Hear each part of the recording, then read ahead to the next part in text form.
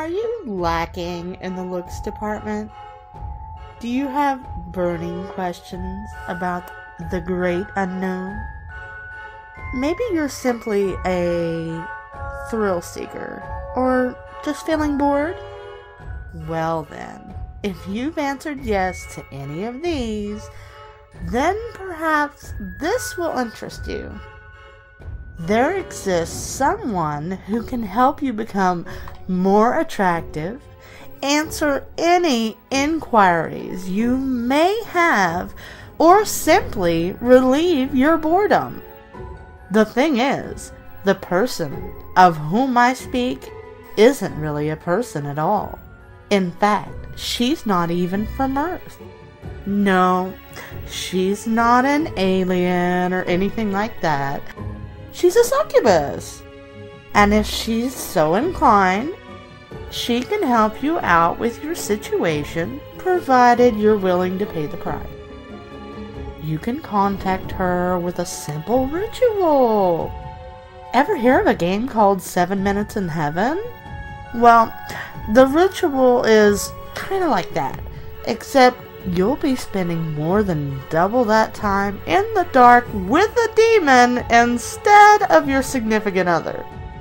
For the ritual, you'll need three things one candle, it doesn't matter what kind, a closet big enough for you to sit comfortably in, any kind of paint or ink, preferably red or black.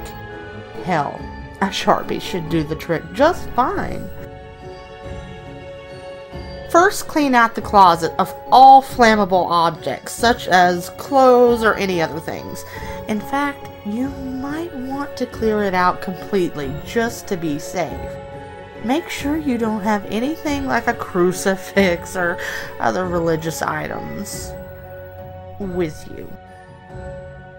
Next, draw a pentagram on the inside of the closet door. Now light your candle, step into the closet, shut the door, and sit down facing the pentagram. If there is a light coming in from the crack of the bottom of the door, block it with something. A towel or a blanket should do. From this point on, I will refer to your soon to be guest as Fiona. This is not her true name, which is impossible for mortals to pronounce, but it is the name she goes by when summoned. Look at the pentagram on the door and whisper the words, Come to me, Fiona. I beg of you. Repeat these words until your candle goes out. If Fiona feels like it, the candle will blow out on its own and the ritual can proceed. If she's not in the mood, nothing will happen. When your candle burns down to nothing, this means you'll have to try again some other time. Keep in mind, you won't be able to see Fiona. And you have exactly 15 minutes from the time the candle is extinguished until the ritual is complete. After your candle goes out, you'll hear an alluring female voice whisper in your ear, What do you desire? It is at this point you should reply with one of two responses.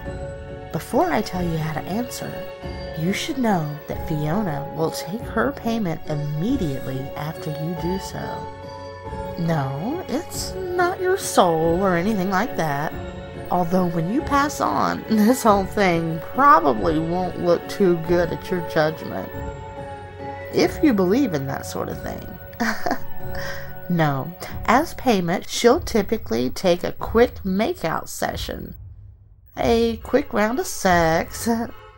It won't matter to her what gender or sexuality you identify as either. She's not picky.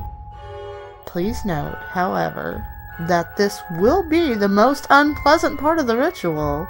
If she feels like making out, she'll force her mouth against yours and wrestle your tongue for a while, maybe even groping you in sensitive areas a few times.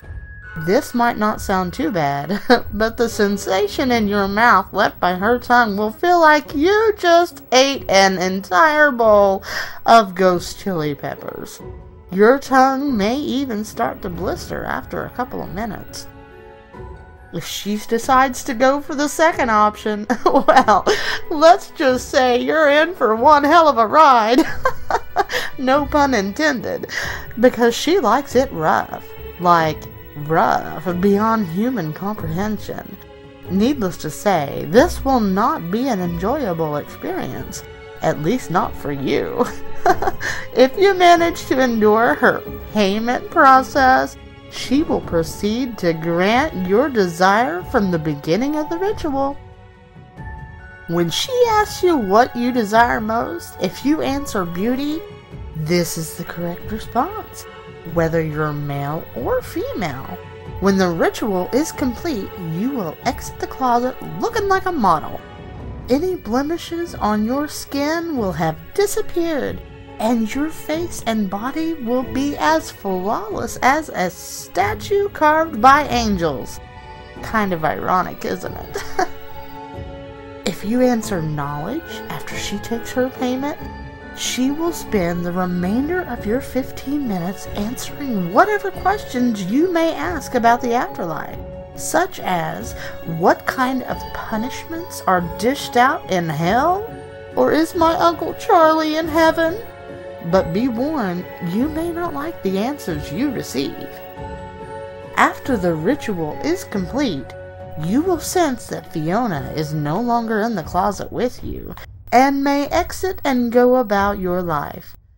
One word of warning if the closet the ritual in has a light inside, such as a light bulb with a pull chain, do not turn it on while performing the ritual.